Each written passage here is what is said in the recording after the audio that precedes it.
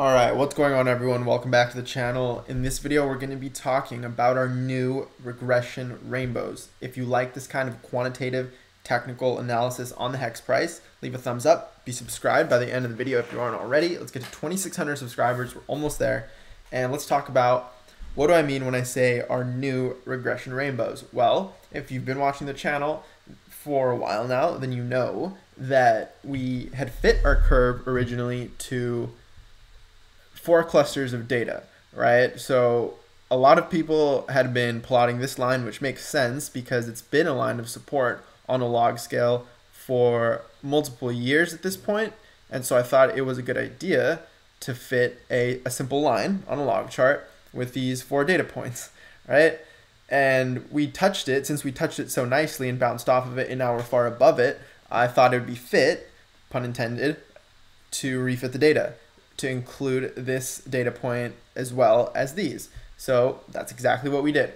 We went over here and it was actually a lot of work. Like, look at all this. I had to make a bunch of rainbows and you'll see what I'm talking about in a second. But I essentially added these two days, right? You can't really see it, but I added these two data points, which were effectively this right here, two days here. Um, the exact days, if you want to know, was uh, were April 27th and April 28th of 2021 of this year. And so when we include that in our model, it actually changes everything. It changes everything a little bit, right? You effectively have the same model, but there are some things that are different and we'll go over that right now. Let me zoom in on this so you guys can see it a bit better. And you're not going to understand this gibberish like whatever. This is just for me to remember what I'm talking about. But essentially, our old slope here, old m, was approximately 0.011. And our new, our new n is 0.0113, whereas the old one was 0.00, 0.0119. If that doesn't make sense to you, all, all you have to understand is that slope of this newly fit data got reduced by about 5%. And this is the new regression rainbow. And what do I mean by 5%? I mean, when we had our original regression rainbow, this new one simply tilts over by 5%. So the angle of the entire beam, right, the entire set of lines tilts over about 5% to the downside. And this starts talking about this starts touching on the idea that we've been talking about here on the channel, which is this fit might not hold forever. I've talking about I've talked about the fact that you know Ethereum held its exponential fit, so to speak, for its first three years. So I think for the first three years of Hex's existence, it makes sense.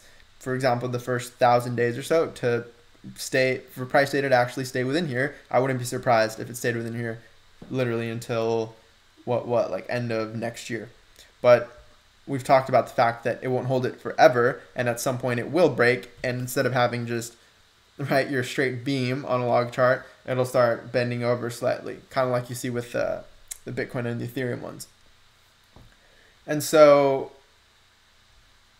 it's it's interesting that we see the angles start bending over a little bit on our refit model it, it makes sense right it it agrees with that it it what's the word? It converges with that idea of diminishing returns over time. And so our, our angle bent over by about 5%. And to accommodate for that, the actual coefficient, right, the multiplier out front, uh, had to expand a little bit by, I think, about 30%. So all you really have to understand is that once we refit the data, the, it suggested that diminishing returns is slightly in play, okay?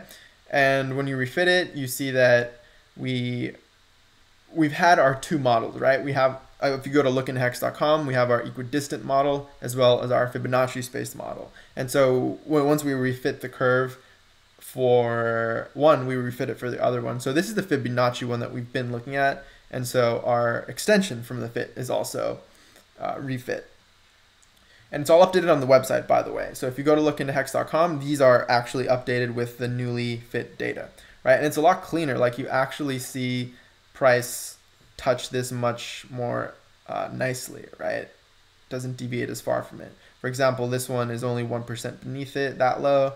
This low is literally less than 1% above it. So this is clean, right? I like, I like how this is looking. by the way, code yellow on our Fibonacci spaced model. We have we're above the yellow. Um, but yeah, just we'll talk a bit more about that uh, later. But here's our equidistant model, which was our original model, right? Where instead of being Fibonacci spaced, they're just spaced by equal distances. And so red, green, and pink are the same on the equidistant and the Fibonacci. The only difference being the orange, yellow, cyan, and purple, which are spaced either, again, just equidistant. So you see this is nice and uh, symmetrical, or Fibonacci spaced where it's just not symmetrical, but rather spaced by these uh, mathematically significant numbers. Again, the argument here is the Fibonacci rainbow is slightly more significant because it's your sort of trend-based fib extension, I think. I digress. These are your updated models. If we look at, um, again, uh, it's updated on lookintohex.com. And we also updated our fair value models, right? So once we updated our regression rainbows, then our extension is slightly different.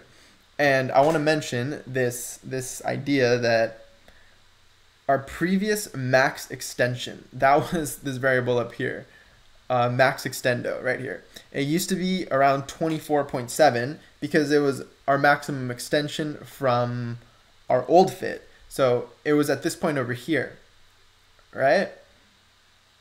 It was at this point over here. And with the refit data, funny enough, it's less. So it used to be 24x or something extended from the fit, and now it's only 20.6x with the with this new model.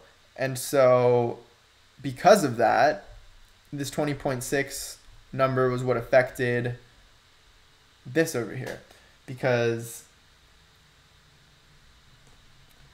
the, okay, this green line here, let's get into it, give you some context. This green line is the same green line as both of the regression rainbows. Remember I told you the, the red, the pink, and the green were exactly the same across all of them.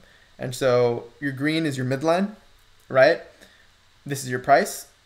And we have our fair value, which all, all this fair value really does is it takes maximum extension from the fit here. It's basically an average of this white, this white uh, curve. It's, it's literally just that. And I've plotted it on here before too, but it's basically an average of this white curve. And you know what? Let's just show you guys um, what it is. It'll just be your fair value extension because I do want you to see it. Probably should have had this ready for you, but here we are, fair value extension, just so you can get a better idea what I'm talking about because I really do want you to understand. Here you go. Now it's plotted in purple here. So this is our you can call it fair value extension. Um, yeah, fair fair extension you can call it, and it's effectively an average of this white curve, and you kind of see it now, right? And it, it held some significance where it kind of bounced off here nicely, bounced off here nicely, got rejected here, got rejected here, and now we're coming up to it again. So this is our fair value extension, which when you map it back up to the actual price chart, it, that purple curve is actually this pink dotted curve here. And so this could be your quote unquote fair value. So once we refit the data, this got refit as well and puts our fair value currently at about 9.8 cents, which is pretty cool. And our midline is currently around the 12 cent region or so, which again, the fair value oscillates around the green curve super nicely. So I really, really like this chart. I've considered putting it on the website. So let me know what you guys think about that. I'm not too sure if I actually want to share share that one, uh, but it would be something like um, hanging out here on this page. And also, would you want to see, for example, if we added more charts here, for it to be two rows of three or two columns of three? Uh, I'm leaning more towards the two columns, so it just kind of keeps going like that. You know, it gets taller versus wider uh, yeah, I'll probably do that. But um, yeah, if we want to talk a little bit of the technical side, because that was that, was plenty of the uh, quantitative side. And oh yeah, here it is. I'm so silly. I had already plotted it, so there was no need to to do this really. But here it is, uh, much much cleaner. Where once again, we are pretty close to our fair fair extension, so to speak, and pretty close to our midline. But then again, we've also shot up above it by a lot in the past which tells me that it's it's significant in the long term. I think where you want to ask yourself where should you be buying. Well, when you're really far beneath, say your fair extension or your your fair value, it seems like a good idea. For example, when you're a fourth of it, it's probably a good idea. You see what I'm saying? Um, and maybe once you're like over here, um, 20x extended above it, maybe it's a good time to uh, rethink just aping in. so that's the quantitative side for you in this video. I do want to talk a little bit more about the technical side as well, and this I not idea, but the fact that we recovered from a recent dip quite nicely to where it just becomes this long wick. Again, I was watching it real time, similar to this one here on June 12th when we dumped to seven pennies. Well, today's had us dump all the way to eight pennies and it got bought right back up super quickly. And now we're right back at nine pennies, making this nice long wick, which is what I like to see. Long wicks to the downside are very powerful. It indicates a lot of buy pressure. And like Whales Only, I believe was saying on one of his streams, all you have to do is look at certain indicators to see where the direction of the market is headed. Like where where are the whales pushing this? In which direction? And if you look at a whale, for example, the one we oftentimes like to share here on this channel, our 0xAF friend, uh, also known as C5, then you look at just recently, their buys, again, they had doubled from 50 Ether all the way to 100 Ether, his uh, hex buys. And then recently, the one an hour ago, is 160 Ether. So he's ramping up his buys. That's what I like to see. How much did he get? About 4.6 million hex with that 160 ether. And now he's sitting pretty at 135 million hex in his wallet, over $12 million worth of hex, and still chilling and sitting on 93,000 ether. And this is just one of his wallets. Uh, right, this is just one wallet, I should say. We don't know how many. Uh, oftentimes people have multiple wallets. And so there's about a quarter billion dollars just chilling in this wallet. That's what I like to see where whales are pushing this market. It's um it's a bullish sign in my opinion. And you know what? A bonus if you're if you stuck around this long, let's show you guys a little bonus. So if we look at our extension from our fit, I see something really interesting now that we've refit the data, right? What do I see? well, our fractal, the fractal that we'd been talking about for a while, actually looks much, much nicer this time. I recall that we, we'd talked about the fact that we had bounced from the red up to the green and then came back down, came back up, and hung out between the orange and the yellow. Over here, what happened was slightly different but similar, where we bounced from the red to the yellow, right? So one line lower, and then instead of bouncing right back up and consolidating between orange and yellow, what happened was this, right? Further move to the downside, more consolidation uh, between between here as opposed to here. It took much much longer, about twice as long, and then we finally saw our bounce up to the yellow and our consolidation around the yellow.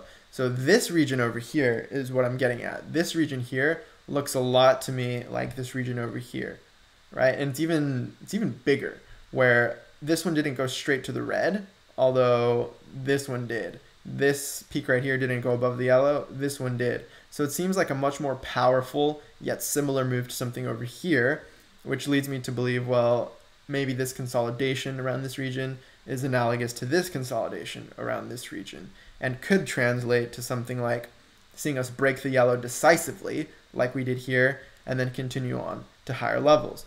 Again, you could argue honestly, I think you could argue for the pink curve more now that we've refit the data uh, based on this fractal and the power of this move and the fact that supply dynamics are very different and we see sort of this pre-virality of hex in media. So this is pretty bullish in my opinion. If we see a fractal if we see this fractal play out similarly or even identically and we were to go up to this pink region we're looking at 20.6 extended from the red curve uh, so 20.6 over 3.39, what would that be?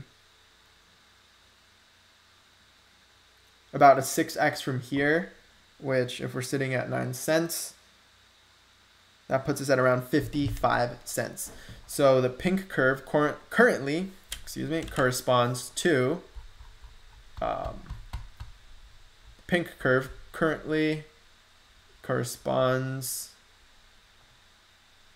to 55 cents. And if you know about 55 cents, you know that it's 10,000x from the bottom, approximately.